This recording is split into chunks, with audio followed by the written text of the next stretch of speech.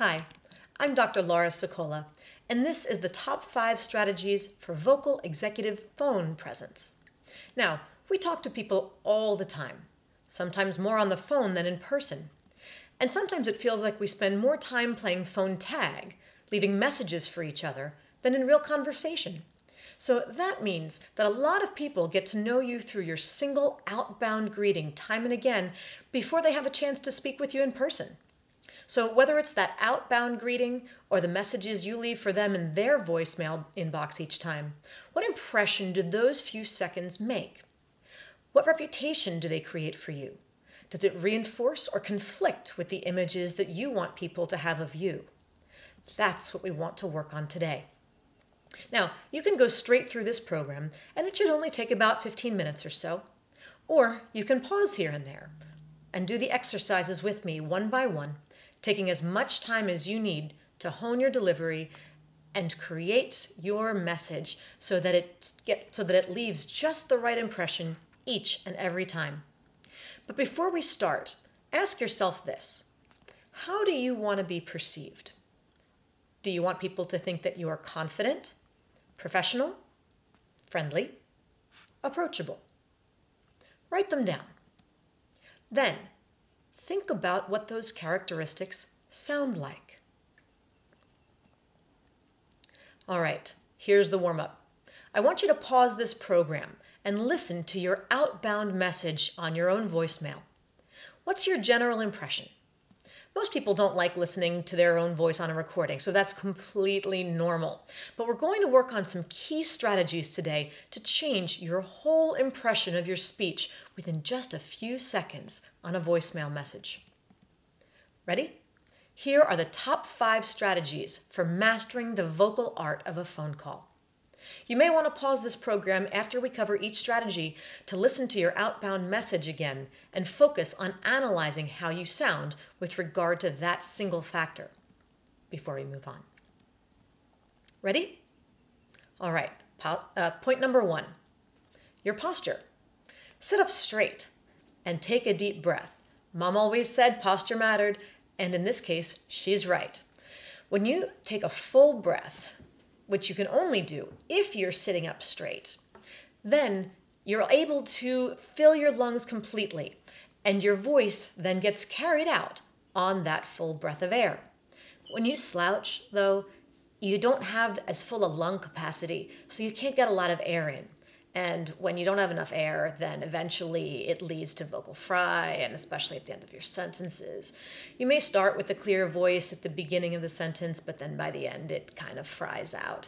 And that kind of tone often sounds sleepy or indifferent or hesitant. It certainly doesn't sound confident, positive, and inspiring.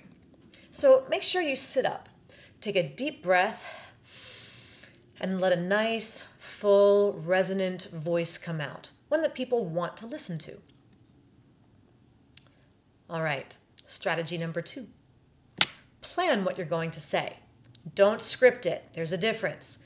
You need a couple of bullet points, a few scratched notes, a very simple outline.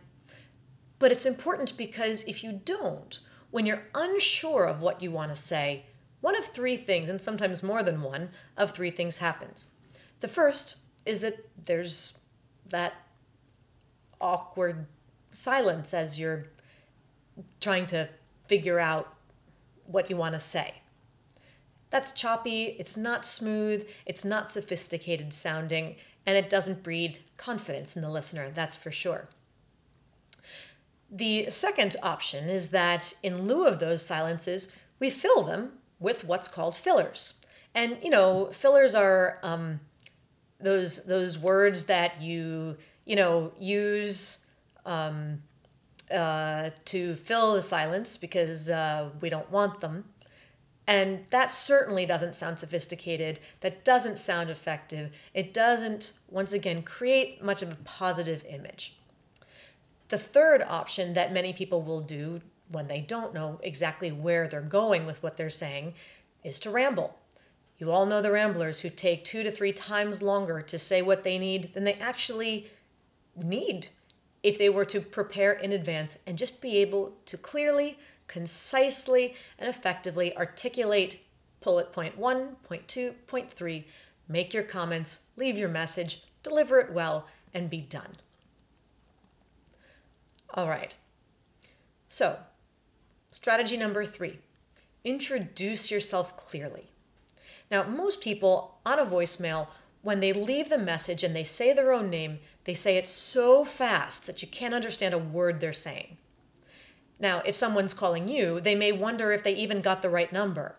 But if you called and left a message for them, there's a really good chance they won't even bother to call you back if they have to listen to your message two, three, even four times to figure out who you are. And of course, as you're leaving your name for someone, you want to make sure to use my signature strategy for self introductions. First, say your name a little bit slower than you actually think is necessary.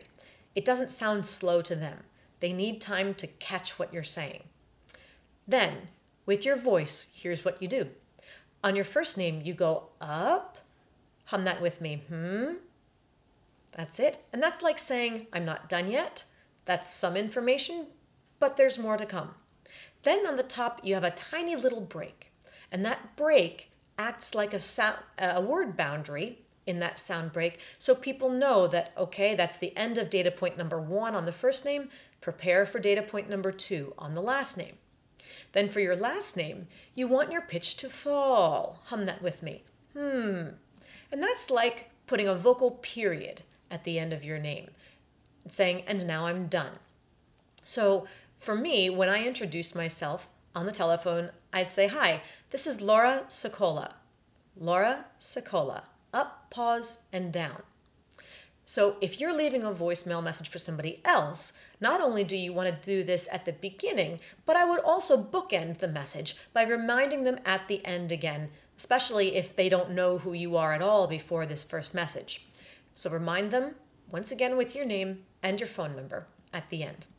And now those that last uh, that last point has to do with the tonality of your voice, which is related to the final two strategies in our list. Tonality is the contrast in the highs and the lows in your pitch, in your voice. Now, these last two strategies are the opposite of each other, and at the extreme, they're equally awful. So we want to make sure to avoid them. The first is the monotone, the vocal flat line. A lot of people leave messages in a monotone without realizing it. They run through the information just to get it done as quickly as possible. There's no inflection whatsoever, so as they're speaking, it just sounds completely engaged, excuse me, disengaged, like they'd rather be doing just about anything other than speaking to that particular listener on the phone and they just want the whole thing to be over as fast as is humanly possible. That's not very engaging, is it?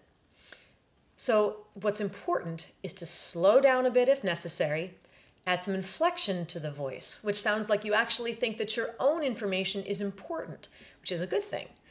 And it also makes it more interesting and easier to follow for the listener. Now, strategy number five is the opposite extreme to that monotone, and it's referred to as upspeak. And this is another thing we want to avoid. Upspeak is that pattern where people are talking and it sounds like everything's a question, even when it's not, which is really typical of voicemail. Can you hear what I'm doing? Now, this can be really annoying to a lot of people, which makes them either tune you out and or just not want to call you back. Plus, it sounds really insecure even if you're not insecure about what you're saying, it sounds like it is because it sounds like you're constantly asking questions or asking for validation, like you're implying right or you know, as if you're not quite sure. So it can really undermine the impression that you're trying to make. Now, if you followed your strategy number two about organizing your thoughts ahead of time, then you can also remember to add those vocal periods, like we discussed in strategy number three when saying your name, after each point before moving on. That's adding your period, and that helps to avoid upspeak. For example, can you hear the difference in these two renditions of the same message? Hi, this is Laura Sicola with Vocal Impact Productions. Today is Tuesday, March 9th. I'll be out of the office in the morning and returning around 1 p.m. So please leave me a message with your name and number, and I'll be sure to return your call within 24 hours. Uh, if you need immediate assistance, please contact my assistant Anna at 212 555 1212. Thank you. Okay, now, version number two. Hi, this is Laura Sicola with Vocal Impact Productions. Today is Tuesday, March 9th. I'll be out of the office in the morning, returning around 1 p.m. Please leave me a message with your name and number, and I'll be sure to return your call within 24 hours. If you need immediate assistance, please call my assistant Jane at 212 555 1212. Thanks and have a great day. Can you hear the difference? Okay, now look back at the list of characteristics you wrote down at the start of this program to refresh your memory about the impression you want to leave on people when you speak. Next, pause the program one more time and listen to your outbound message again. How many of these five strategies do you demonstrate? How many are missing? And where does your delivery style reinforce the image that you said you want to, people to have of you, or how does it sabotage that image? All right, now it's your turn. Go back and re record your outbound voicemail message. You may want to practice a few times using your voice memo app in your smartphone or tablet first.